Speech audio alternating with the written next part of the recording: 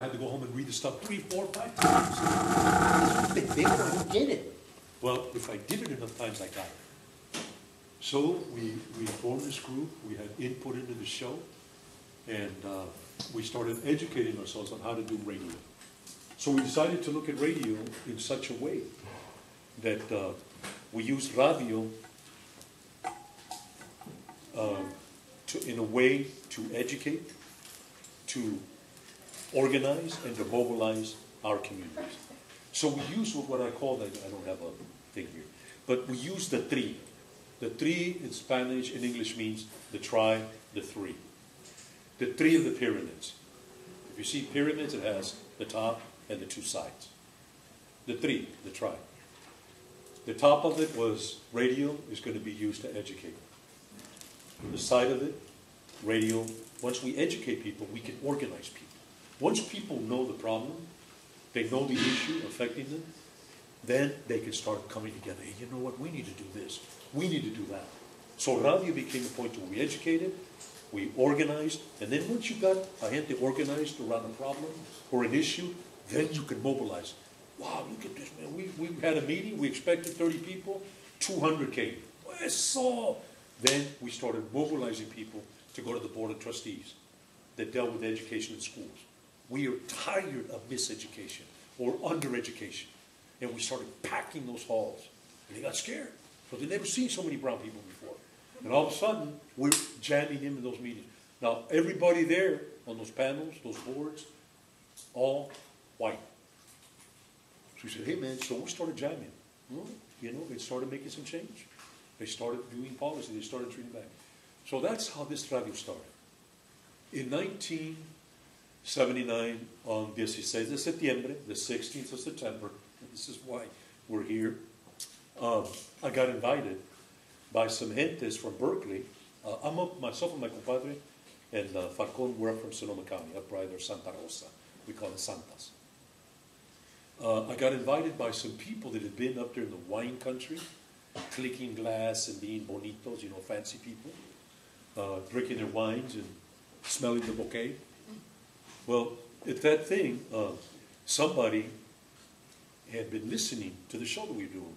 Cruising, oh, eso, vamos aquí, eso, sending your dedicas, and, you know, blah, blah, blah. So it, uh, it really started to click. And uh, uh I get a call from uh, somebody from National Public Radio who had been up in the area that weekend, uh, like I said, sampling wine. And one of the guys was a Chicano uh, I think he might be Hispanic today, but back then he was Chicano. Um, and uh, called me and said, hey man, I was up there with some people at the National Public Radio, and we were listening to the radio and listening to you guys. We'd love to have you come down to Berkeley and do your show there. What? Berkeley? Berkeley. You know, hippie town. All the hippies on the, and the, and the hippies walk around with their perros and they live with dogs. It's not for us. We said, oh man, but it's also next to the biggest barrio you know, called Oaktown, Oakland. Oh yeah, oh I know Fruitvale. So we came. The first show that we did was 31 years ago on the 16 Septiembre, on a Friday. So uh, that's how we started at KPFA. After that show, uh, it was a marathon special, and we didn't come back. Uh, within two weeks, the station is getting calls, hundreds of phone calls, people all mad. Hey, you lied to us. You said you were going to have this lowrider show, and all of a sudden it's not on the air. We're giving money, and there's no show. There's no programming for Chicanos. We need to have Chicanos. All of a sudden, the community, we had nothing to do with it. They started jamming the station. You know, we need to have, you know, if we're going to be paying, because uh, public radio is supported by the community, by people's donations or pledges, when all of a sudden the, they say, hey man, we're not giving you money. Hey, uh, Gavilan, you think you might be able to come back and do another show? I came back and did three other shows, once a month. By the end of December, uh, the station at, uh, in Berkeley decided to call me, and they said, hey, uh, we've gotten so much demand, and we're getting so stressed because people are so angry that this isn't a regular show. And in the Latino community, the Chicano, Mexica community is the largest in, that makes up the Latino community. So can you come out would you be interested? We're there. So I came in January. The first thing I did is I went up to, walked up to UC Berkeley. I found the mechistas there. Órale, these are some brown people over there. Oh yeah, we're mechistas. Oh, ¿qué hubo, hubo? Clicked it with them. And uh, then uh, I talked to the group there, and I said, listen, I come from another, you know, part of the, you know, the Bay Area, and they've asked me to come here to Berkeley, but I don't want to do something without, first of all, letting you folks know that you all need to be involved. I can't do this by myself. Because even when I was doing the show in Santa Rosa, I had a collective. It was LBA, it was the Those Brown Angels, all my homies. Everybody got to throw the vika, somebody got to run the board, somebody did the mix. So everybody got to do something. We trained everyone. So when I got to Mecha, yeah, yeah, yeah, yeah. So, you know, we put together the first crew. Now, that first crew, in my first crew, Mechistas, because I was like the senior, get senior, get nada. But, you know, I was. None of them knew radio, I did. So the first crew that came in, we had uh, a cat named Marco Antonio Firebaugh, who later became the Speaker of the House of Sacramento to the state legislature. And uh, when he came in, uh, for about a year and a half, he did the dedications. You answer phones and do the vicas. Oh man, he loved it after a while. But, uh, you know, and his story was he was up at UC Berkeley all bored and to death and scared because he didn't need nobody. Berkeley, well, you know, he was out of East Los Angeles. So imagine coming out of East Los and all of a sudden you end up in Basurcas, excuse me, uh, in Berkeley, UC Berkeley, with all the fancy rich people and of course, you know, the privilege. And uh, he was lost. And one night he was, you know, on the radio, what? All these new boys. So, so he found out where it was and he just walked down. Knocked on the door and he said, hey man, I was on the radio and I was all depressed. And then I heard Cubo and eso and orale and come on down and let's go cruising. He goes, hey man, I, he goes, this sounds like the barrio. Hey, come on. Well, it was. Hey man, I want to hang with you guys. I said, well, listen, hang out with us. So, like I said, he started doing dedications. Years later, he becomes one of the most powerful Chicanos in Sacramento. A year later, he brings another homeboy, name is John Perez, to do the same thing. He was leaving Berkeley, kind of done with taking dedications, and uh, he let John Perez take it. Well, today, John Perez is the Speaker of the House up in Sacramento. In other words, the legislature, which is the equivalent of Congress, it's a Chicano that's in control. It's one of us. So John Perez, back then his name was uh, El Pantera. El Pantera. Okay, going to be the Panther, the Brown Panther, Cuba. Pero it worked. So these are the kinds of, now throughout the years we've had countless people come and in and out of La Onda. And today we're here. We're here for three reasons. One, we're here because it's Latino Heritage Month and Latino Heritage Week. Este mes, nine independences happened. They were sparked by the first independencia, which was the Mexican, the Mexicano independencia against the Spaniards of 1826. And that sparked a flame that crossed through Central and Latin America, South America. So we're celebrating that. We're also celebrating, today is the 31st anniversary of La Onda Bajita. Yeah. Orale, we've survived. Don't even begin to take a guess at my age. You'll all be wrong. So um, then at the last point, today is also, I believe, uh, the end of the Mexican calendar new year, the old year. Uh, I, well, it will be, I will be corrected. Uh, so that's who we are. Now I'm here, I'm uh, the executive producer. Uh, Norma Labrava uh, has been with La Onda, I guess as long as Chuch and myself. Uh, we're like the core principales. We've survived, what, three decades? And here we are. I couldn't have done it without Brava. She's been kind of like the spiritual foundation to La Onda. When we're all getting locotes or angry or just, you know, the rabia or the guerrilleros, she always chills us. They chill They're sick, not us. Okay? No, we are sick. But mire, uh, then I got Mr. Chuch. Mr. Chuch has been with me. Híjole, I brought him from Santa Rosa. Uh, I first saw Chuch, six years old. I'm 16, he's six years old. And I saw him on a little, back then it was called a Sting-Ray. Had a banana seat, a probably too old for any of you. But he was there, descalzo, brown little pantalones and no t-shirt. But you know, Mr. Chingon is that mocoso. well, now he's almost 50 years old, so he gets to know you how long I've known him. I've known him even longer than he's known himself. Um, and, and I couldn't have done it and kept going without him because in this thing, for myself, you know, I came from the rancho. You know, I came as in, you know, when I when I was uh, uh, going to be six years old, I came from the state of Sonora. So, like a lot of you, you know, we're immigrantes here. Pero Mr. Chuch, Tejano to the bone, Brownsville, Texas, and here he is. I couldn't do without him. Uh, so that's the core group. Now, we got other members of the Onda here. We've got uh, Pedro Reyes. He's the uh, co-producer of La Onda. And kind of like a, a live remote, kind of like technical uh, that we have on. Uh, we recruited Pedro. We found him, que gracias a Dios, about 11 years ago when he was doing radical pirate radio in the mountains of Santa Cruz, yeah. undetected by federal authorities. Uh, we ran into him. I said, hey, man, you need to come on. He's been with us since. Uh, we got Falcon, uh, who's kind of like our uh, technical consultant, helps us do the technical stuff and sound and audio person.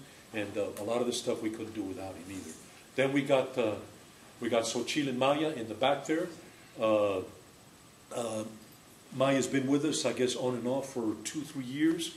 Uh, we hooked up with her probably about four, five, six years ago in the anti-war movement, uh, and we said, "Hey, we got to catch you." Uh, she brought with her about I don't know the beginning early this year, last year, Xochi, who's been an incredible addition to La Onda it kind of makes us a little more uh, solid and not just, you know, como venga y como vaya, you know. Uh, it's really helped us kind of ground us and keep us a little more focused. And uh, then we have Miguel Perez.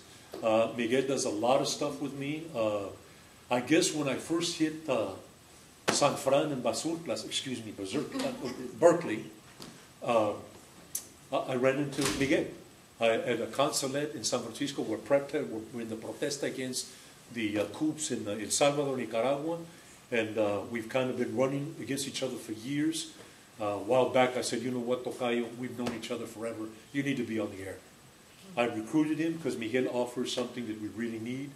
Uh, his whole thing that he does is uh, Latin American kind of situations, does the political and social analysis. And I know that might be a lot, but at some point we all have to learn how to do analysis. To look at the situation, study it, take it apart, put it back together, and then fix it. It really helps us, uh, myself, keeping the whole what's happening in Latin America. And Miguel uh, does another show with me called Flashpoints, which is a national program. We were going to be here, but uh, situations happened and couldn't uh, materialize. But he does a segment called Flashpoints in Espanol, which is a national uh, syndicated show that goes out to about 300 different affiliates. And uh, he also does two segments on La Onda. He does Vox Populi, Popular Voice the first Friday of the month, and he does also uh, Venceremos with a group out of El Salvador from the FMLN. Uh, so that's basically it. Now I'm going to stop talking, now that I'm saying here. I'm giving uh, Matzatzin a chance to uh, echarse los bocaditos. And I'm going to turn it over to him to talk about what today signifies. And then uh, after he does that, we're all going to take a few minutes, my crew here, the staff and the posse, however you want to label us, mm-hmm. uh, to talk about what we all do and why we're here today. Uh, Pero Matzatzin, maestro, and uh, I just want to give tres sonadas.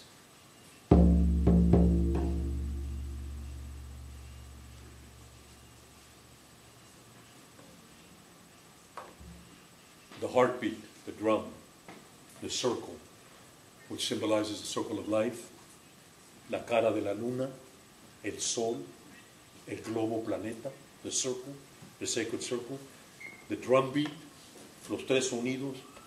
When your when your heart beats, it beats three times. Ton, ton, ton, ton, ton, ton. So that's why I resonate the heartbeat. And we do that whenever we're out everywhere, because our belief is wherever the drum beats, we shall liberate. And if you listen to La Onda, our show, you'll hear that forever. So, Matzatzin, gracias compañero. Gracias, Martín. Por tenernos aquí. Ya, ya saben. De nuevo te digo, muchas gracias. Uh, more than anything for all the work that he's been doing for 31 years, no? Seems like a, like a long time ago, pero seems like yesterday también at the same time. So uh, I want to thank you for, for your, mainly your endurance. You're a great example of, uh, of our pueblo. Uh, today, as everybody knows, uh, we're celebrating the, ¿qué? 16 de septiembre, Independencia. Started yesterday, ¿verdad? And, uh, and today. And uh, what we found, uh, and the way that I look at, at raza, at our pueblo, and I'm talking about the pueblo, when I say raza, I usually mean all human beings in the world. But when I say the pueblo, well, then I'm talking about our pueblo. I'm talking about all the human beings in the world on this Western Hemisphere, you know, indigenous people. So uh, I think Miguel and, uh, and La Onda Bajita is a great example of that of those people, mainly for one reason, because 500 years plus, we still got similar problems that we had back then, 500 years ago, you know, like being chased down and being run over and stuff like that, you know. And in 500 years, what did we learn? Más I think our pueblo in 500 years has learned more than anything else, has learned to suffer. Have learned to suffer and suffer and suffer more. But without fainting. Eh? Sufrir sin desmayar. In other words, they suffered, but they never fainted. You know, get up again and continue, get up again and continue.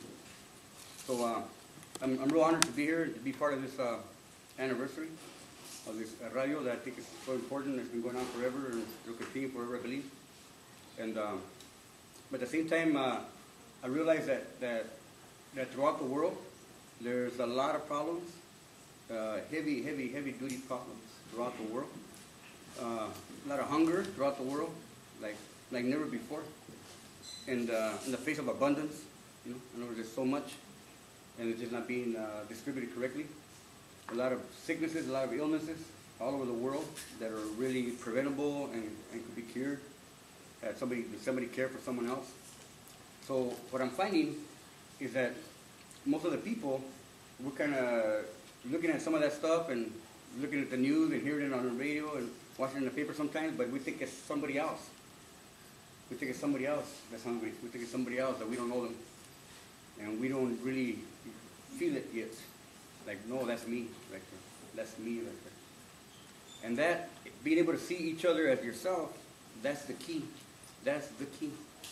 Because uh, it comes called identity, so you can identify. Because I believe that without identity, there's no responsibility. Because you don't identify with issues or, or problems or situations or people. So if you don't identify with them, well, you do the best you can, but you can also forget them pretty easy. So to me, the main thing is cosmic identity, we call it, cosmic identity. An identity that has nothing to do with the color of your skin or your eyes or your hair. An identity doesn't matter where you come from, doesn't matter who grandma and grandpa was, doesn't matter if you're male or female. You got money, you don't got no money. In Spanish, we like to say, rico, pobre, judío, jodido, it doesn't matter. Because it's not about religion, it's not about money, about none of that stuff. Identity that's only de- determined by one thing, one solid thing. That one thing that I believe that is, is the most common thing that exists. I have found nothing, nothing at all that exists that's more common than that one thing that the identity depends on. And that is time. Time. Time is the common, we used to say common denominator until we realize, wait a minute, we're talking about dividing and division and wait a second, we don't need a common denominator, something common that divides us all. That we ought to be divided by that thing. you know? So no, we realize time is really the common ground. It's what we stand on. It's when we all stand on, on the common ground. Right? Like we do here on this common ground. Everybody all over the earth, that's the other thing that we all have a lot in common, we all gotta be walking on this. So the common ground is time. So time is real super important. Time is important. And not because it's time and you're late or, or we, we gotta get there in time and stuff like that. But mainly because time has an attitude, time has a privilege, and time has a warning. So time, attitude, a privilege, and a warning. And if you learn to realize these capacities of time, then you'll be able to make better use of your own time. So we're gonna we're gonna do for a few minutes. For a few minutes, I appreciate the opportunity to like I said to share this. So for a few minutes, we're gonna go into, into a time, into a space of time. We're gonna open up a space. We're gonna, we're gonna make contact, direct contact with these cosmic energies that are all around us all the time. But we're gonna focus in on them. So for a few minutes, we're gonna become like one person. We're gonna have one thought, and we're gonna have one heart. And that's a lot to say, and sometimes we can do it, sometimes we think we can't do it. But today we're gonna do it. And then you're gonna realize, wow, I've done that before. Yeah, I've been there before. I've done that before. Wow, many times. Especially if you're danzante, you've done it all the time, you know? Okay? So what we're gonna do is we're gonna we're gonna face the four corners of the universe, the four directions we call it. And this is not the uh, not the four cardinal points. That's way too small, too elementary for cardinal points. We're talking about the corners of the universe. we're talking about the real stuff that's out there. And we're gonna face all the four directions. We're gonna face to every direction, and we're gonna say hello to that direction. We're gonna show respect to that direction, to everything that's around us, every place that's around us. We're gonna look up. We're gonna look at these lights up here and make them represent the sun for us, who we call him Totatzin, our respectable father, Tonatio, who carries the, excuse me, who brings light and warmth, Tonateo, who carries the creating energy of the sun. And we're gonna thank him because, like a good father, he gives light and warmth to everybody, but everybody and everything. And then finally, we're gonna thank the earth. We're gonna come down and touch the ground. If you can't come down and touch the ground, you can put your hands down like that, show a little respect. Because this is our mother. That's where we come from. Our good mother. She takes care of us. She feeds us, she clothes us, she houses us. All the time. Everywhere. Everybody and everything that exists on the earth. So for a little while, we're gonna be like one person. With one mind, one heart. And it's gonna be nice. But it's gonna hopefully let you realize that it can be done. That we can't put our minds and our thoughts together and just to be uh, respectful to everything that's around us. So, you give me enough warning, put your place down if you'd like to, or if you want to join us, and then uh, we can stand up and we can face to the north. I'm, uh, okay, I'm going to follow him. I guess the north is that direction. Okay, we're going to face to the north. The way we're going to do this also, in the four corners, in the four directions, there's qualities and energies all around us all the time. But in the four directions that we're facing, I'm going to start to the north. It's usually a little different than a lot of people do sometimes.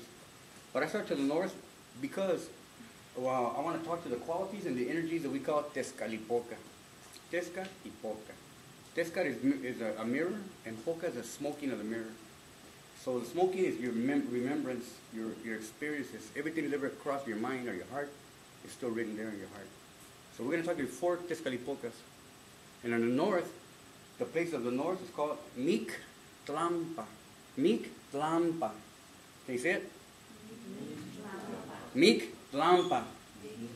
It means the place of silence and transformation. And our companion who guides from that direction is, is Tezcalipoca, and we call him Yayauki Tezcalipoca. Yayauki means the dark one, dark like the night, Tezcalipoca. And he represents, first of all, the beginning of all things, the initiation. Our grandfather says everything began someplace, we don't even know where or when or how, but they had to initiate the beginning, initiation, and that's a black Tezcalipoca. We face to the north. But the north, Mix Tlampa. Gavilán, jefe. I'm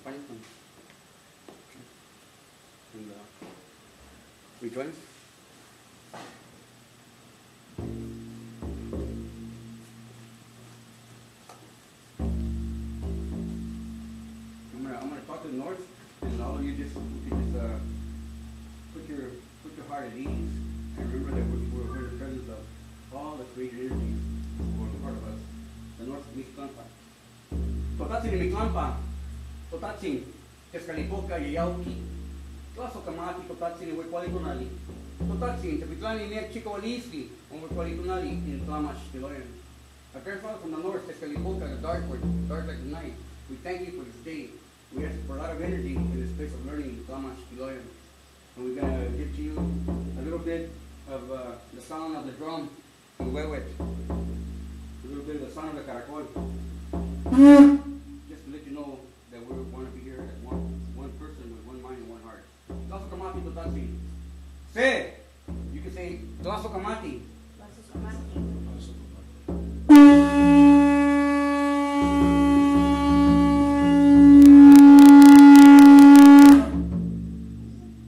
Turn around to the left, three quarters of a turn, and face to the east.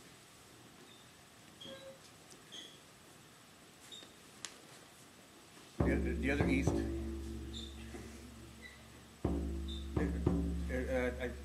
This direction. But I'm guessing too. Is that way the east? So then that was in the north. Now it's north. Okay. Thank you, North. We always usually I say majority rules. Good thing they're all four sacred directions, right? Nobody gets too uptight. So no, so we get another chance. Let's begin.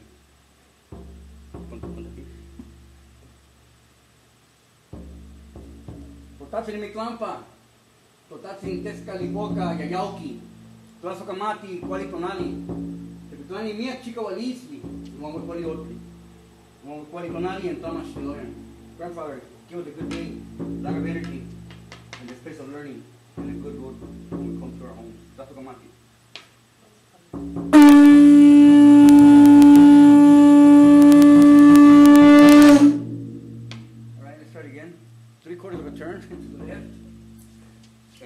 and let's the south. The west. Okay, the west now. Oh, uh, the east, the east, the east. Hijos, huh? How many directions are there now? Eight directions, okay. Well, that's another thing Chicanos do good. We can always continue getting better. Tlazokamati totasine tlawis tlampa. Say it, tlawis tlampa. Tlahuiztlampa, Tlazokamati. Tlazokamati, Tezcalipoca. Tezcalipoca. Tezcalipoca, in this direction is the red Tezcalipoca. Tlatlauqui Tezcalipoca, red like the fire. And he puts everything in order. Everything in its right space and time. And we thank him. We also know him as Xipe Totec. Totatsin, in Tlahuiztlampa. Totatsin, Tezcalipoca, Tlatlauqui. Tlazokamati, Totatsin, Huecualitonali. Huecualitonali, Miak Chicawalisli. Huecualitonali, in Tlamashtiloyan. Yay! Say. Tlazokamati,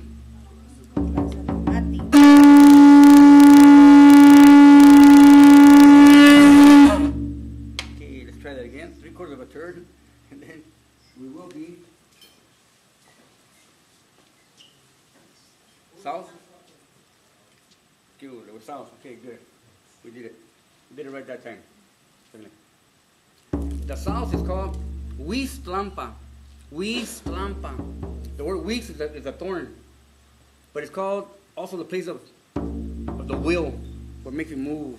When you get all the good ideas and you need something to make you move, that's where it comes from, with Slampa. Our guide over here is a blue Tezcalipoca. We call him Shoshoki Tezcalipoca. He's blue like the sky. He's blue like the water. And we also call him Huitzilopochtli. Totatsin in Huiztlampa. Totatsin Tezcalipoca Shoshoki. Totatsin Tezcalipoca Huitzilopochtli. Tequitlani mea chicawalisi, huecualitonali in Tlamashtiloyan. Thank you, grandfather, for the south, Huitzilopochtli. Make that will in us move to take care of the business that we all need to take care of. Tlazokamati will give you this drum sounds and the sound of the caracora, tercocoli, to let you know that we recognize the need to be filled with your energy and the will to move. Tlazokamati.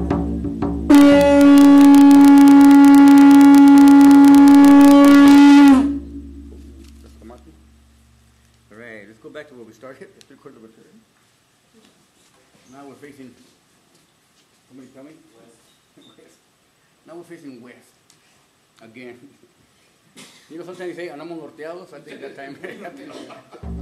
Pero cuando ya se went back where we began, the west. The west is called Siwat, Tlampa, Siwat, Tlampa. The word Siwat is woman, the place of woman, the place of knowledge and wisdom. Somehow our grandfathers really had it together. They knew what was up. Place of knowledge and wisdom. Our grandfather who guides us is none other than the great Quetzalcoatl, the white Tezcalipoca, called Istak Tezcalipoca. Remember, when we started to the north, that was the beginning of all things, initiation, the black Tezcalipoca. When we went to the, to the, what side did we go after that? went to the east, the red Tezcalipoca. He put everything in order, everything in order. And then we went to the south. The blue Tezcatlipoca, Huitzilopochtli, he put everything in motion. Okay? So now we had initiation, order, and movement. Guess what? Now we have life. Tezcatlipoca Ista, the white Tezcatlipoca Quetzalcoatl, he brings us life. Because among other things, he represents Ehecat, the wind. Totatzin, in Cihuatlampa, Totatzin, Ista, Tezcatlipoca, Quetzalcoatl, Tlazocamati, Totatzin, Huecuali, Tonali, Tecutlani, Miak, Chicawalisli, Juan Huecuali, in Miak, Quetzalcoatl, in Noyolotzi, Tlazocamati, Totatzin. Grandfather from the from the west, we thank you for this day, beautiful day. And we thank you, we offer you this drum beats, and this caracol, this song of the caracol, to let you know and understand that we realize that we need you, precious twin, precious knowledge, precious wisdom of our precious self. Tlazocamati, Totatzin. Let's all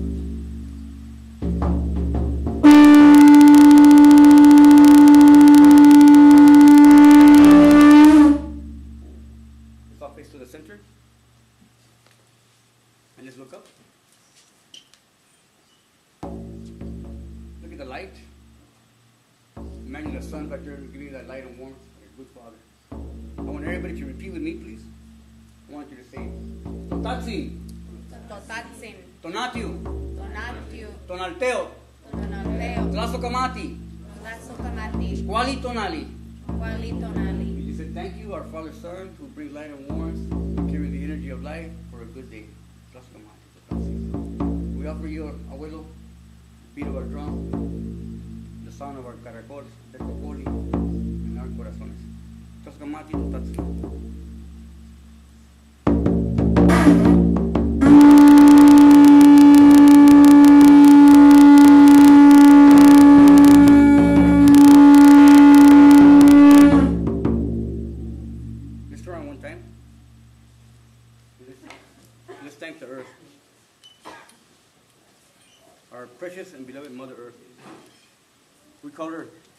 Totlazo Tlalnansin.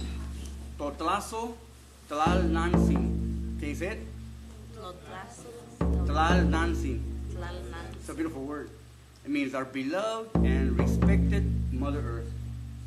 Because she gives us, like I said, food, clothing, and shelter, a good mother to all. And we thank her for this day. Totrahota Nansin, Toskamati, Wekwali Tonali. Tequitani me chicolisi, ni que no yolotsi, no tasosi, no selotsi, chochiquesali chantico, o aunque sali chochiasiwa, y wan masasi enseñelisli, o no chantlaca, no chansiwa, no chantlaca pili, no chansiwa pili, tequitani me chicolisi, o wekwali otli, totlaso. However you can, in your own way, give thanks to the Mother Earth, recognize her for a, a few moments as the one who gives us life. And when the time comes, she lovingly opens up her arms and takes us back to transform us again. We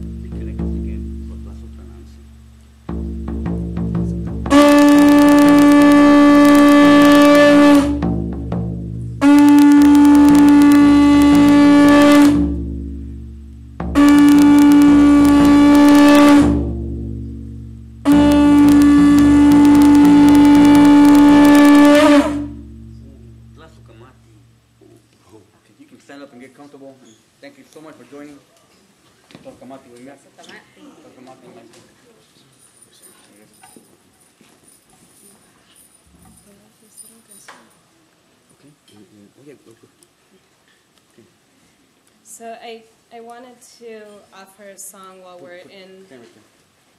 while we're in this space, kind of talking about reclaiming our indigenous roots. Um, this song was given to me by my grandmother, and it's a sweat lodge song. And for our people in the southern hemisphere, it's a temascal, and it's a song of gratitude, and it's a song of reclaiming our power. And I feel that it suits Mexican Independence Day. What we do, what we work for every day is to fight for our rights. The indigenous peoples of this earth have had to fight for over 500 years for their rights, and we're still fighting. So it's a very simple song. Um, I'm not exactly sure in, in which dialect it is, but you can kind of repeat after me, and so she should come and, and help me. so the song very plainly is, and it's very, very simple, but think of everything that you're grateful for, send it up to the spirits, reclaim what we're, what we're here for, and, and ground ourselves in, in Mother, reclaim our power. The song is, Hey ya, hey ya, hey ya, hey ya, hey ya, hey ya, hey ya, ho. Es todo. Hey ya, hey ya, hey ya, hey ya, hey ya, hey ya, hey ya, ho. Hey ya, hey ya, hey ya, hey ya, hey ya, hey ya, hey ya, ho. Hey ya, hey ya, hey ya, hey ya, hey ya, hey ya, hey ya, ho. So it's important that we understand vibration. We understand that our energy, what we carry in our mind and in our heart, is the vibration. And the best and clearest form, the purest form of doing that is through song, through an actual vibration through mouth. So I would love if you guys would join me for one round of that prayer and send it up. Hey ya, hey ya, hey ya, hey ya, hey ya, hey ya, hey ya, ho. Hey ya, hey ya,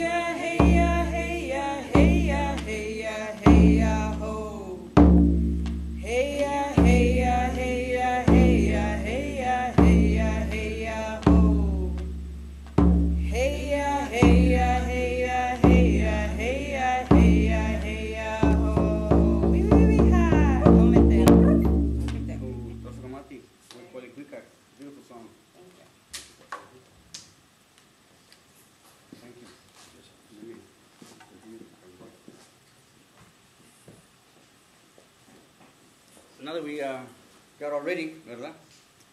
It's about time, like we said. It's all about time. Keep that in mind. It's about time.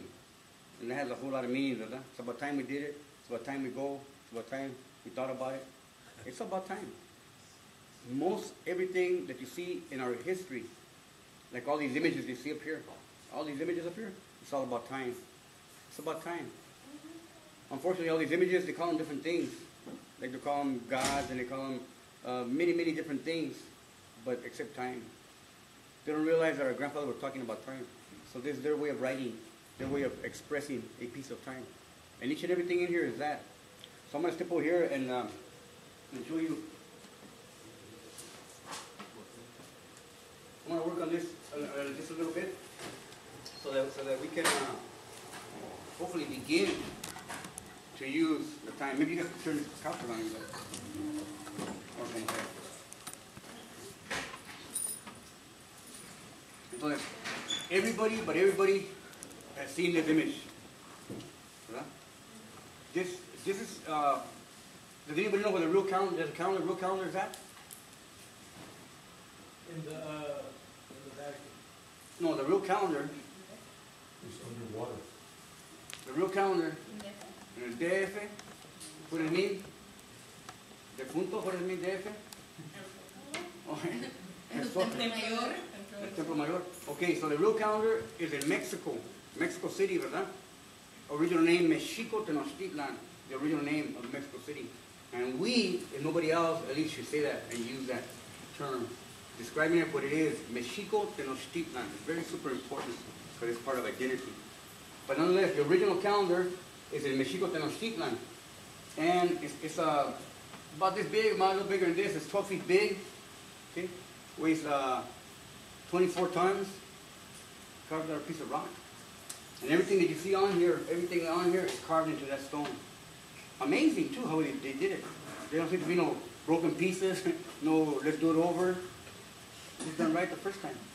But all this, the big giant stone, and they call it, what do they call it? The Aztec calendar, right? Calendario Azteca, the Aztec calendar. For a long time, in fact, when I began doing my presentations, I would say, let me tell you about the Aztec calendar. And the first thing I got to tell you is not an Aztec calendar. Because from what they were explaining to me, what Aztec meant, ¿verdad? Was not that. you know. And it took a long, long time, actually a long time, almost 20 years, till I realized what Aztec means. And when I see now what Aztec means, I go, "¿Qué you know what? Mm-hmm. That is an Aztec calendar. But not how they painted to us. Okay? So I'm saying these things because a lot of things that are written down in history are not really the way they appear or the way it really happened. Okay? So we got two things going on here. We call it his story with two S's. His story and our story. Okay? And so now we're here to tell our story according to our perception. Better yet, according to our cosmo perception of the ancestors, of the old ones. So the calendar itself, they tell us it was carved in the year 1479. The year 1479. It's not really that long ago. A little over 600 years ago, approximately. The card, it was carved in, in the year 1479. In fact, this, this day up here has a number of meanings, but it's also the year 1479. 13 read. These images that you see around here, they come out of our codex, that they call it the Codex Borgia. The codex is an ancient books put together, right, from a long time ago, manuscripts. We call it Huehue Tlatoli. Huehue, viejo, viejo, Tlatoli, palabras. Ancient words left to us by our grandfathers. Words of guidance. But today, the book itself is in the Vatican. It's been there for a long time. And that's why it's called the, the Codex Borgia. There's other books called the Codex uh, Paris, and guess where that one's at? In Paris, in Paris. You know? One called the Codex Dresden, and guess where that one's at? In Dresden, in Alemania, right? Germany. So our ancient books, our ancient codices, the original ones that we have, a few left, they're in different parts of the world, you know, museums, and I'm sure in some private collections also throughout the world. But nonetheless, we have an access to it again, just by the images. So nonetheless, these images, totally, totally, 100% pre-Hispanic, okay, totally without a doubt. At minimum, 1,500 years old. At minimum 1,500 years ago, our grandfathers were painting like this, drawing like this, writing like this. So by the time they put it together in a book, how many hundreds of years did it take, or thousands, to come up with conclusions? So when they put it together in the book, it's because they were done, they were done with the study, they were done with the investigation, it was ready. And that was done a long time ago, 1,500 years ago, at least minimum. Okay? Now, in the calendar, most of you know, but I'm going to go over it quickly to remind you that we have 20 days in our calendar system. Oh yeah, by the way, one more thing, important. This calendar system, everybody knows it as the Aztec calendar, they call it, but they also call it the Mayan calendar sometimes. And you ever go online or see these programs, they'll talk Mayan calendar, and poof, they'll pop this one up también. So in essence, it is the same thing. But yet when they speak, they don't want to talk to Aztecs, they want to talk about Mayan things. But it's the same thing. So this right here, the system, it runs on 20-day cycles. These are the days right here, 20 days, 20-day cycles. Every square is a day. There's 24-hour periods in each one of the little squares. These little squares and these symbols is going to change not what they look like or what they represent, but the amount of time that they represent. Like right now, they're representing 24 hours. I'm pointing out to you 24 hours. But they also are right here in these little images. You can see up here. There's all the day signs all around. You can see these right here. These four that I'm pointing to. Those are day signs. But here, guess what? They don't represent a day. Here they represent minutes. Actually represent 18 minutes apiece. It's a lot of time. So we have 80 pieces of 18 minutes in a day. That's a lot of time we have in a day. You can figure out how to do 80 things, you know? Because you got a lot of time in a day. Seem to run out of time most of the time. Okay? But at the same time, these little pieces that you see right here, they also represent a bigger piece of time. They represent the full size, which is 72 minutes.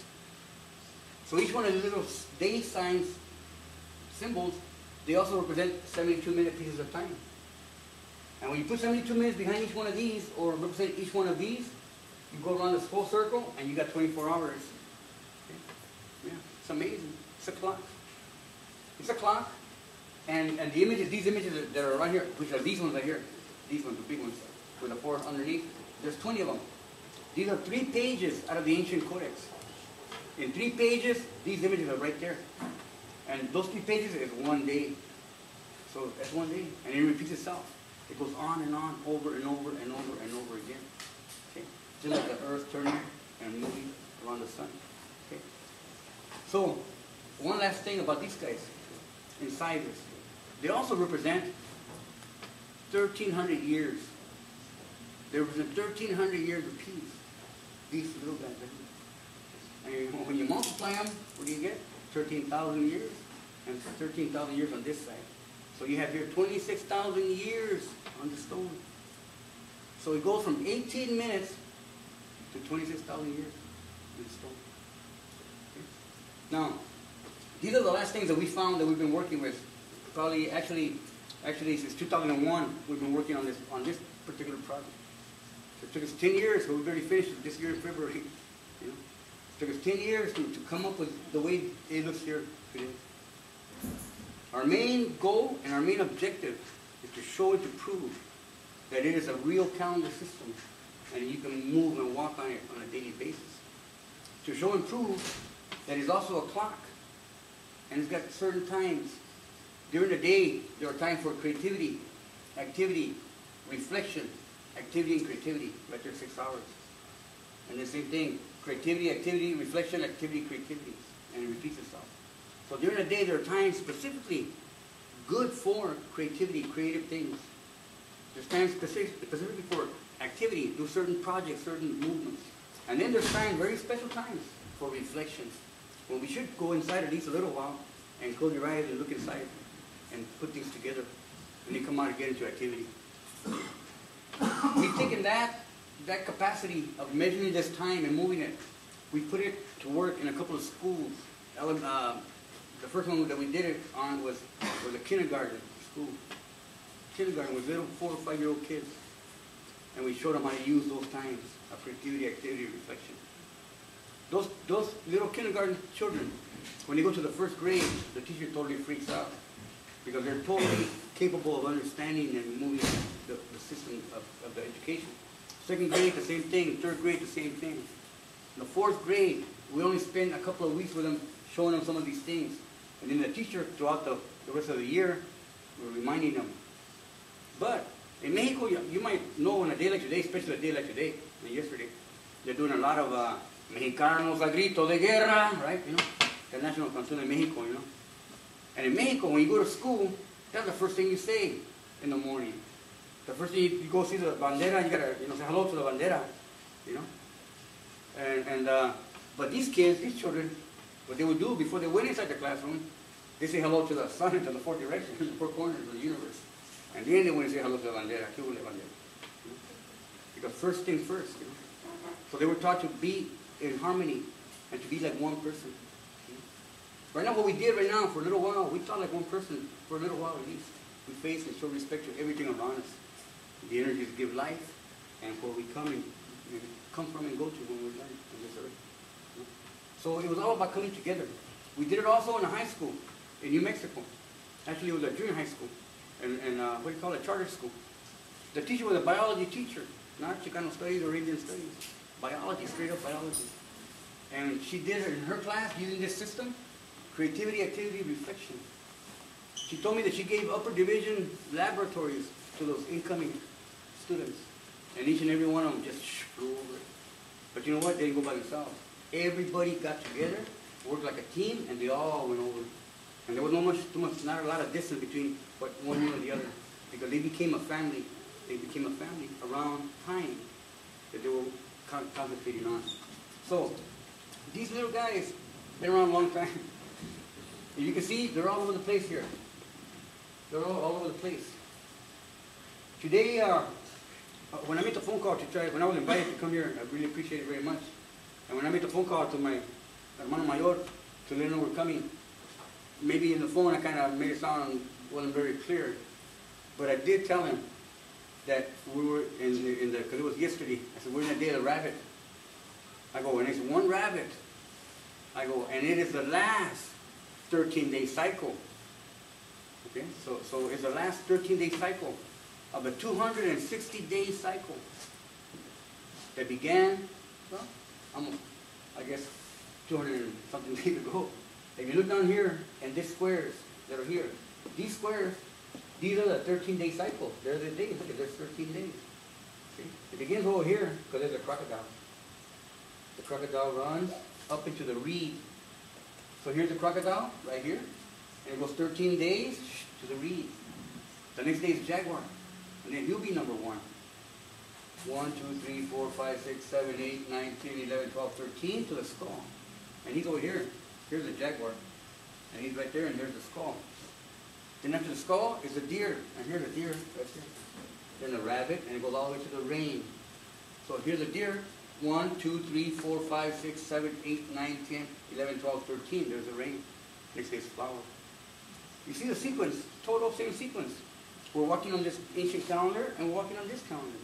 In other words, it's always been there. If you have a chance to look at ancient books, ancient books, all our ancient books, one thing for sure, it's going to be full of days and day signs. It's all about time. Can you explain the symbolism behind the jaguar and crocodile?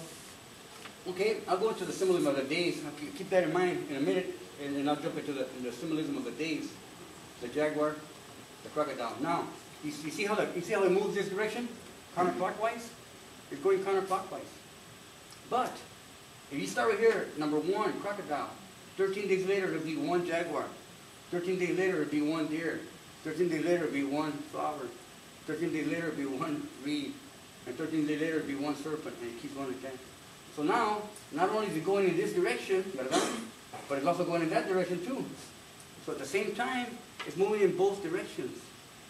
And there's many things like that in our culture. That's a duality, where things can appear to be different and not the same, but duality doesn't mean that you look just like me. Duality means that we make a complement, we complement each other. Okay? And that's what duality is about. The most important duality that we need to know and always keep in mind is that we are, as individuals, an individual, but we're also part of the whole. We're part of everything that exists. So we're an individual and we're cosmos at the same time. And that's a big duality. Okay? We gotta keep that in mind. So, as we walk on this on these 13, uh, 13 days, 13, 13, 13, we walk all the 13 days. Today, we're on this day of the water. Yesterday was day one rabbit right here. So look up here. Here's a rabbit. And Right there's the water next to him, number two. Two water today. So we're on the very last day. Rabbit, 1, 2, 3, 4, 5, 6, 7, 8, 9, 10, 11, 12, 13. And it ends. The next day will be one again. One crocodile. Whenever the crocodile and the number one come together, we begin a new cycle. Some of you have been fortunate enough to been invited to, uh, to uh, these Mayan ceremonies that have been going around here for quite a while. There was one not too long ago, probably uh, uh, early July. Does anybody take a look at Venus? Like to look at Venus now and then? See. No, and right- now it's not visible. Right now, in July it disappeared. It disappeared. It disappeared. Went down. It was a morning star. But I start. I was watching them. I like. I get up in the morning. I was watching them. I was finally getting closer and closer to the sun. Closer to the sun. So we can't see him no more. But he's gonna be gone for almost 90 days. Disappears. And then he's gonna appear, boom, as a evening star. Okay? Well, the morning star, we call him Tlawis Kalpantikuti. Tlawis means light. Kal, house, pans, on top of the world. When the light comes up, the sun comes up. That is Venus as the morning star. And the evening star, we call him Sholotikuti. Sholo means companion, companion of the sun. When he's the evening star. But he's the same one, brother. Well, he's like a twin, right? He appears this way and he appears that way. So he's a twin. And the twins are called what? Coat or cuate, ¿verdad? ¿Qué hubo raza? Cuate. That's where the word comes from, coatl. Eh? Somos cuates. And what's a cuate? Besides, we say twin, but it means my buddy, you know, my partner, my partner. In fact, more than a brother, that's my other self. My homie, exactly. That's my other self. In Maya, we say, en Lakesh, eres mi otro yo, you're my other me. Alaken, I'm the other you. you know? So that is the law of the land. That is the law of the cosmos. That is a law of duality. That you're my other me. We complement each other. Okay? So, on this day that we're on the day of the water, number two water, we only got 11 more days, and then this cycle ends. I told you about those Mayan ceremonies. A lot of times people think that they're doing a, uh, what do you call it, they're doing a new year. In fact, every time the Mayans light a fire, they go, oh, they're doing a new year. Everybody thinks it's a new year. But if you listen to the viejos, they're going to tell you, we were here nine months ago, you know, and we're here again. So they're following the movement of Venus. Okay? They got to keep that movement going or recognizing its cycles. Okay? So, but when this nine months ends, we begin again the crocodile, a new 260 day cycle. They used to call it the sacrificial calendar. In fact, they still do in some of the books. But we know there's a life calendar. Because that's how much time a human being is inside his mother's womb. For 260 days to 273 days. That is nine months. And then the child is born. While he's in the mother's womb, he is traveling in 13-day cycles. According to the first guide of the day, he'll be guided by the crocodile, then he'll become a jaguar, then he'll become a flower, then he'll become a deer, and he goes like that. So they got all these qualities. And then when the time comes to be born, when he first comes out, descend from his mother's precious womb, in that instant, here comes the wind. And that's who? Quetzalcoatl. And that's why we say Quetzalcoatl gives me life, because he is the wind himself. So in that instant, when that child takes his first breath of life, you know, little bitty mouth like that, one right there, you know, and he breathes in all these qualities over here, all these energies, far top to the sun, all that came into that little baby, and all those qualities. And imagine that, all that potential, huh, on a little bitty baby like that. And they would name you according to the day that you were born on the calendar. Because they knew that behind that symbol, there was another symbol. Like for example today, the rabbit. Well, he's got another companion. It's a maguey plant, or like the agave cactus, but this is a different kind of maguey, right? The, the water today got a companion, Shutikuti. Tomorrow, the day of the dog, got a companion, Mitlantikuti. The next day, day of the monkey, got a companion, Xochipilli, which is photosynthesis. The next day, Malinali, the herb, their companion, Pateca, the one that cures plants. So every day has a bigger companion. This companion that guides the days, they call him Ilwika po simpli. Ilwika, cosmos. Po simply, po, companion. Simply, respectable cosmic companion. Super, super important. We never heard about them. They never told us about them. They showed us pictures and called them gods and devils and boogeymen. But we never heard about them. Well, in reality, the day signs, the day signs themselves, they are the mission of time, what time will accomplish. And they painted them like this, like today, Day of the Water. A mission that they has.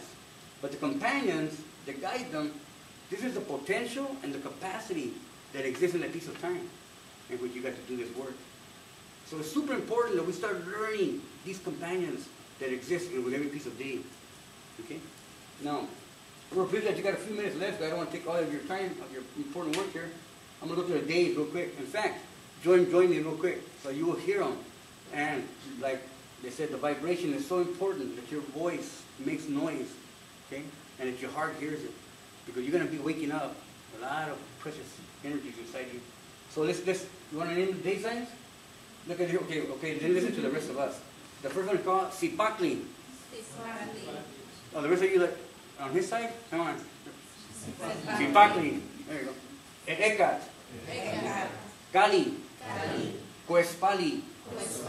Kowat. Kowat. Mikisli. Masa. Toshli. At. Isquintli. Isquintli. Osomatli. Malinali. Akat. Akat. Ocelot. Cuautli. Cosca Cuautli. Olin. Tecpat. Kiawit. Shoshi. Not Soshi, but Shoshi. Don't change the name of it, Shoshi. It's real important. The X is like a SH, Shoshi. Like Mexico, They don't speak like Okay? You just name the 20 days of the calendar. Okay? All of these days and all these times, you walk through those 13 days taking all those people in, I mean, all these qualities in, in every one of us. Okay? But I'm going to finish off in saying this one last thing for now. It's not an Aztec thing. It's not a Mexican thing. Right? Because it wasn't made only in Mexico and by Mexicans. It was, it was put together by the whole continent. Not one person, but thousands and thousands of people worked to put this together. across thousands and thousands of miles, the whole Western Hemisphere. So we get information from the top of the world, Alaska to the bottom of the world, and we have countless systems. And by thousands of people. It all came to culminate in Mexico City, Mexico Tenochtitlan. When they founded Mexico Tenochtitlan in the year 1325 as the headquarters of the Confederation of the Eagle and the Condor coming together. So, my last thing I'll say is I say it's not an Aztec thing, or Indian thing, or Mexican thing, it's a human thing. A human experience towards personal transcendence. We can transcend even the color of your skin, even your language, even even what people think you are or, or can become, right? Because the word Aztec comes from the word Aztli, Aztli, and that's an instrument to harmonize. An instrument to harmonize. Tecat, the person who becomes that instrument. So when our grandfathers came to the conclusion of what you're looking at here, called the Aztec calendar, then they became Aztec. Because then they became instruments of harmony. And people becoming the deer, the rabbit, the water, and you're part of everything that surrounds you. So keep that in mind. We got some material here in case somebody's interested and wants to take some material. So you can start, continue to work and walk on this counter system. I think it's very important that we bring back our capacity to walk on the system. The crocodile is the beginning of all things, the initiation. Boom. And if someone's born that day, he's got those qualities, potential capacities. The jaguar, more than anything, is a listener. Represents the, the, the ear to listen. Also, it's an audacious and tenacious guy. You he don't get bothered by the small stuff, but if he wants something, that's mine, goes after it. So everybody knows what these symbols are and what they represent. Simple, simple things. They don't gotta be too complicated. Uh, too com yeah, they're complex, but not complicated. So we're gonna stop right there for now, but let you know that you are part of this calendar system. You know, each and every one of us, because we took the breath of life and we came into this. Okay, Azteca, instruments to harmonize. Okay? Olmeca, Olin, movimiento, and mecate, those who began to tie the movement of time. Tolteca, the builders who build with those measurements to precision, to become precise. Not perfect, but precise. In other words, a little bit more, just try a little harder like you are, because you're a Tolteca all the way, because you never are satisfied with second best or the best, you know? So Tolteca means exactly that. One who is never satisfied with mediocre. Just try a little bit better. At least you know you give it the best you could. You know, that's Tolteca. And then Maya, no, it's not necessarily a people, a nation. It's mainly a net that holds things together. And that's why they put the time from the beginning of this cycle to 2012, December 21st, the new cycle begins. Okay? And then finally, Aztec. Instruments of harmony. So hopefully we can someday become Aztecs. Nos Kamati Mia. Thank you very much. Oh, question? Tenemos una pregunta por ahí. I have questions. Um, esos, those, the four, those four things something. Elements, but I don't know what they mean. The earth, the wind, the fire, and the water. Earth, wind, fire, and water. And the tongue is like a stick butt. He's saying, if you want to have life, respect the earth, the wind, the fire, and the water. And then there's two like snakes, but then they, the faces are. Oh, oh, right here, right here. right here. Yeah. Well, yeah, yeah, they're two serpents, and their mouths are open, they got faces coming out of there. And their tongues are touching, right here. Yeah, one is light, one is dark. That's duality. Don't gotta be alike. They're gonna be a complement. Okay? Represent Tezcatlipoca and Quetzalcoatl, which are the two branches of our knowledge, or our ancient wisdom would be everything that gives life, like the wind, the sun, Tlaloc, everything is part of Quetzalcoatl. But Tezcatlipoca is everything that is space, like space between us, space in the cup to drink, space out there, and everything internally. Okay? So, thank you very much. Yeah, more questions. We'll be here for a little bit longer, and whatever we can do to, to help you, you know.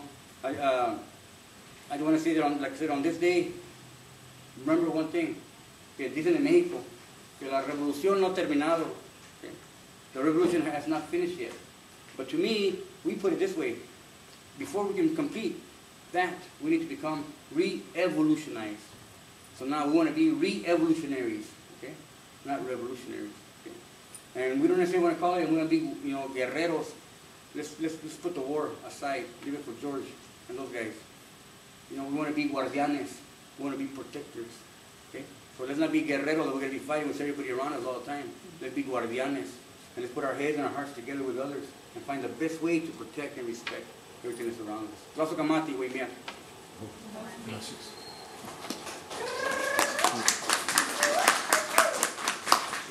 Thank you, Matsasin, for the quick uh, reflections and information education.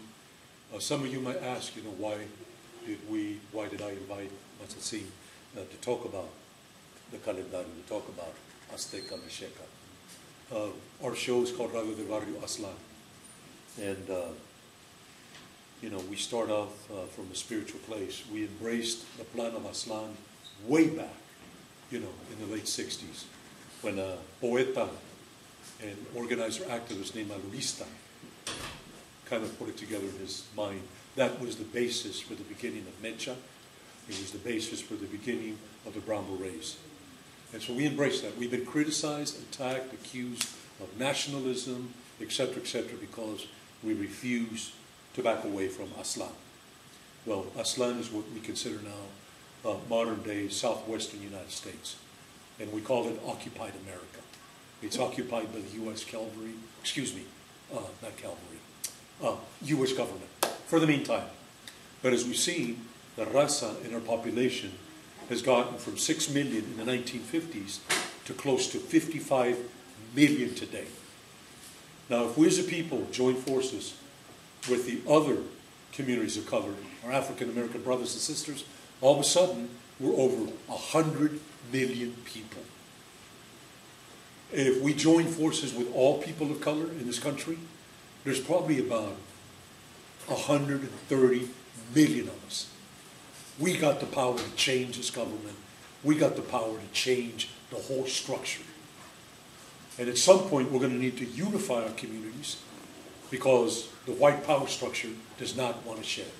Does not want to share, you know, its power, its decision making, its resources. So mire, we're five minutes away from Onda Bajita. I need Maya and uh, Xochi on the table. We're getting ready here. Um, I just want to say uh, we'd like to come back in the future, and we'd like you to all pack the house because what we bring you, you're not going to listen. You're not going to get anywhere else. Uh, myself, in some ways, I'm still a guerrillero. The kind of radio we do is called kind of guerrilla radio. We are radio activists, but we're also organizers. We also belong to foundations, committees, organizations. We all bring something to the table. And our whole purpose here, like today, we started with ritual. People say, why do you play the drum? Why do you say prayers? Why do you chant?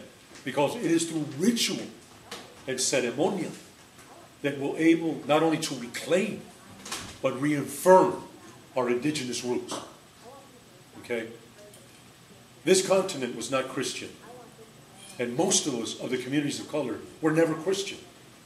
We became Christian through the whip, being burned at the stake, being worked to death. By the sword and the cross and the whip, we were made to be Christians. And most of us, Catholics. All the gold that was stolen from the Americas and the silver, the gold from Mexico and the silver from South America, helped build Europe to what it is today.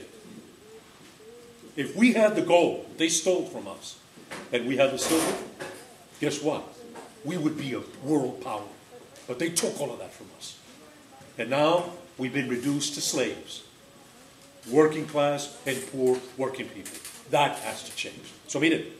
We got a few minutes before showtime. I don't know if you're all interested, but this is how we do radio. We come out in the community and we engage you. So I'm going to get on here and open up the show. We invite you to stay and check it out. And by the end, if you like what you see, we'd like to invite you about how you can become in the radio. Because radio is the way we organize, we educate, and we mobilize our people. It's the only means we have to fight back in the system. Because it's taken everything away from us. So miren, a few minutes before La Onda Bajita, and then we're going to start the show. So I'm going to chair here. Special thanks to our production and technical team, the members of First Voice Media, Group 36. We are Maruka, Katie, Aquila, LaFleur, and Alcalay. Our executive producer is Miss M. Our technical director is Freewheeling Franklin. Our intro music is produced by Source of Labor, and our outro music is produced by Steve Andre. If you have any questions or topics for future shows, give us a call at 510-848-6767, extension 627. Or send an email to firstvoicemedia@cpsmedia.org.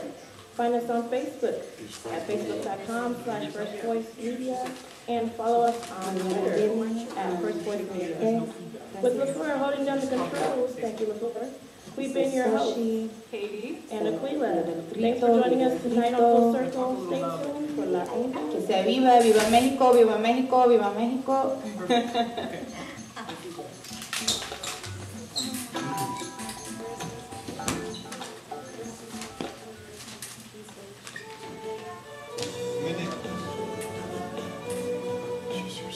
You to Animal Palooza, a wild celebration of animals need, that uh, gets you Elizabeth. closer to nature than ever before. One day only, Saturday, September 24th, from 11 to 5 p.m. at Fort Mason in San Francisco. Hands-on encounters with insects, reptiles, birds, mammals, and marine life from around the world. You'll have the chance to hug a hedgehog, pet a python, hold a beaver, and chill out with a ring-tailed lemur. Child life activities include wildlife origami, insect mask making, and opportunities